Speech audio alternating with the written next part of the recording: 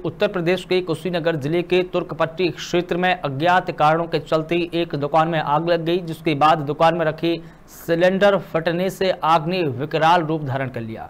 Fire brigade को सूचना के बाद लोग खुद से आग बुझाने में लग गए, लेकिन वहीं स्थानीय लोगों का आरोप यह भी है कि फायर ब्रिगेड की जो गाड़ी और टीम है वो एक घंटे लेट पहुँची। बता दें कि पूरा मामला कुशीनगर ज़िले के तुर्कपट्टी थाना क्षेत्र के देवपाखर मुख्य बाज़ार का है, जहाँ पर एक बाज़ार में आग लगी, लेकिन बाहर रखे चार सिलेंडर और एक के बाद एक पाँच सिलेंडर फटने शुरू हो गए।